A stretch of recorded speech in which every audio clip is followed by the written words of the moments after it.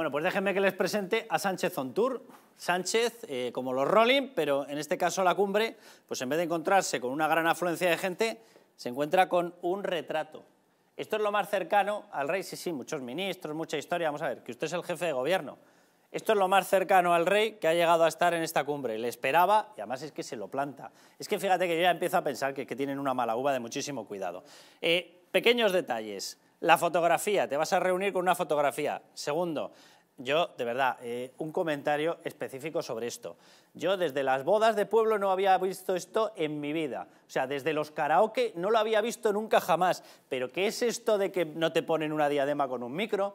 No te ponen un micro de corbata como este que llevo yo. No, no, no. Te plantan el micrófono del karaoke. ¿Pero qué es esto? O sea, la fotografía es surrealista, es literalmente surrealista. Es que la foto se la pusieron toda la comida. O sea, toda la comida tuvo que estar detrás con... El con el, el rey Mohamed, que estaría ahí, que estaría bueno que estuviera detrás ahí con los ojillos, pero le plantaron la foto toda la comida. Sinceramente, de verdad que me recuerda a las fotos esas cuando vas al parque de atracciones y tienen los, así los, los, contornos hechos de los superhéroes para que los niños pongan la cabeza en el boquete. O sea, lo único que faltaba era una fotografía tamaño real de él, aquí otro cuerpo con un boquete para que Pedro Sánchez hubiese puesto aquí la cabeza. Yo no he visto una cosa así en mi vida, reunión de alto nivel.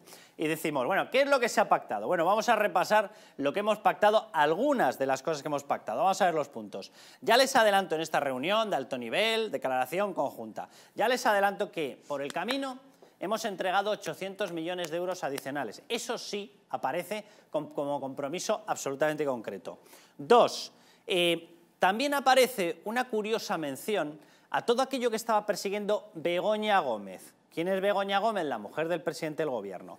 Todo lo que estaba pidiendo y estaba defendiendo desde el Africa Center, desde el IE, y que ahora sigue trabajando en ello desde la Complutense, de las posibilidades de implantar, invertir en Marruecos desde universidades españolas, casualmente aparece en el documento. Punto 56. Qué curioso, eso sí aparece concreto. ¿Vale? ¿Qué otra cosa aparece concreta? Este punto.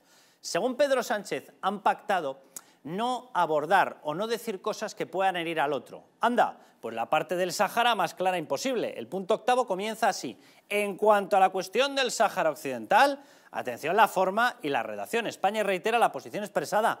Póngalo.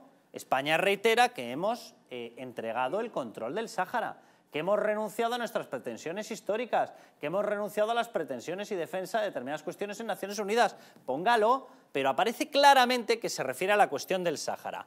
Vamos al punto en el cual, según Pedro Sánchez y según algunos medios de izquierdas, eh, se ha conseguido demostrar o se ha conseguido incluir la protección de la españolidad de Ceuta y Melilla. Falso, falso radicalmente.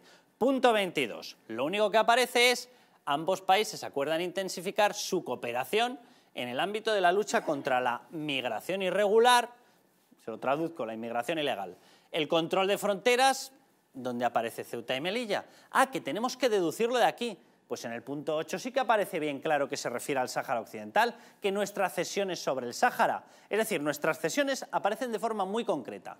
El plan Begoña Gómez aparece de forma muy concreta. Los 800 millones que entregamos y regalamos aparecen de forma muy concreta. Ahora, que reconocen nuestras fronteras, aparece el control de fronteras, cooperación en el ámbito de lucha contra la migración. Eh, ¿Y dónde está? Que ustedes reconocen que efectivamente Ceuta y Melilla ustedes no las pueden tocar ni reclamar. ¿Dónde está? Pues les digo dónde está. En ningún sitio. Absolutamente en ningún sitio. Y aquí Fíjense, los 800 millones, estos sí bien concretos.